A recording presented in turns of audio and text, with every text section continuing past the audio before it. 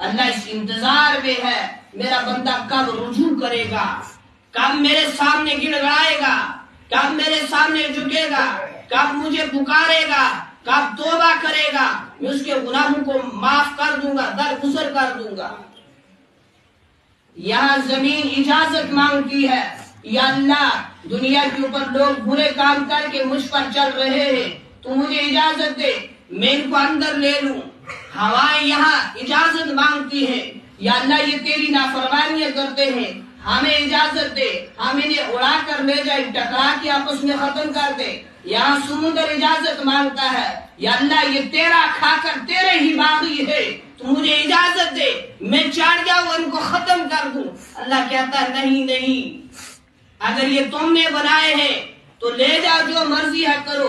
लेकिन अगर मैंने बनाया है फिर इनको इस हाल पर छोड़ दो। मैं अपने बंदे की तोबा के इंतज़ार करता हूँ।